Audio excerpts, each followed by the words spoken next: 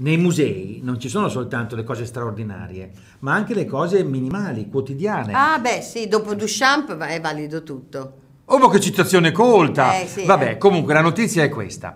Anche gli oggetti più semplici possono essere protagonisti di un allestimento sorprendente. È quello che succede nel Museo delle Cose della Vita Rurale, a Collecchio, in provincia di Parma. Questo museo etnografico ospita una grande collezione di oggetti di vita contadina, raccolti dal maestro elementare di campagna Ettore Guatelli, dal dopoguerra fino alla sua morte.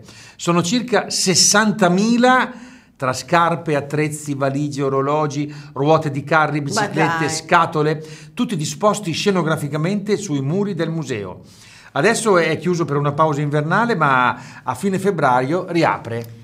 Beh, effettivamente, Mm. eh, sono, eh, queste cose rappresentano un po' la lezione delle cose normali, delle cose, delle cose di uso, no? Perché accanto a- all'idea del- dell'oggetto pop alla Duchamp, ma poi eh, invece c'è l'uso, cioè le persone che l'hanno usato, Ah, quindi, certo. quindi una storia, no? una Sì. storia che si è fermata sulle scarpe, per esempio. Ho visto una cosa del genere eh, di fronte al museo al Maxi di, di Roma, Sì. c'è un altro museo invece molto più gio- giovane eh, dove, eh, dove hanno raccolto, visto che quella era, era una, una cosa militare, no? Eh. hanno raccolto tutto quello che eh, c'era lì, e quindi dalle eh, macchine da scrivere alle Mm. eh, scrivanie, alle biro, alle, e mettendole tutte insieme. Ed è incredibile perché...